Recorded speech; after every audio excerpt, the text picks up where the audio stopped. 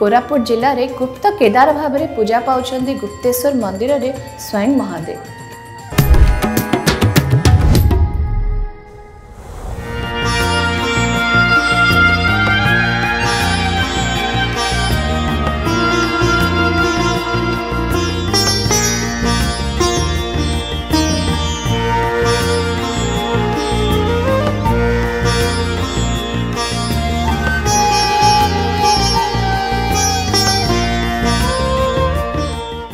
କୋରାପୁଟ ଜିଲ୍ଲାର ବୈପାରିଗୁଡ଼ା ନିକଟରେ ଗୁପ୍ତେଶ୍ୱର ପାହାଡ଼ ଶୀର୍ଷରେ ଏକ ଗୁମ୍ଫାରେ ପୂଜା ପାଉଛନ୍ତି ବାବା ଗୁପ୍ତେଶ୍ୱର।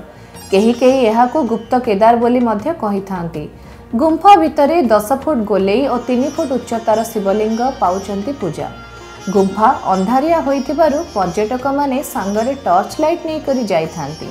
ପୌରାଣିକ କଥା ଅନୁଯାୟୀ ଶ୍ରୀରାମଚନ୍ଦ୍ର ଭାଇ ଲକ୍ଷ୍ମଣ ଓ ପତ୍ନୀ ସୀତାଙ୍କ ସହିତ ବନବାସ ସମୟରେ ଏହି ଗୁମ୍ଫାରେ ଶିବଲିଙ୍ଗ ସ୍ଥାପନା କରି ପୂଜାର୍ଚ୍ଚନା କରିଥିଲେ। ଏଠିକାର ମୁଖ୍ୟ ପର୍ବ ହେଲା ଶିବରାତ୍ରି। ଗୁପ୍ତେଶ୍ୱର ଶୈବପୀଠ କୋରାପୁଟରୁ ଅଶୀ କିଲୋମିଟର ଏବଂ ଜୟପୁରଠୁ ଷାଠିଏ କିଲୋମିଟର ଦୂରରେ ଅବସ୍ଥିତ। ତେବେ ସବୁଦିନିଆ ଯାନବାହନର ବ୍ୟବସ୍ଥା ଜୟପୁରଠାରୁ ରାମଗିରି ପର୍ଯ୍ୟନ୍ତ ରହିଛି। ଅବଶିଷ୍ଟ ତେର କିଲୋମିଟର ପାଇଁ ଆପଣଙ୍କୁ ଗାଡ଼ି ଭଡ଼ା କରି ଯିବାକୁ ହୋଇଥାଏ।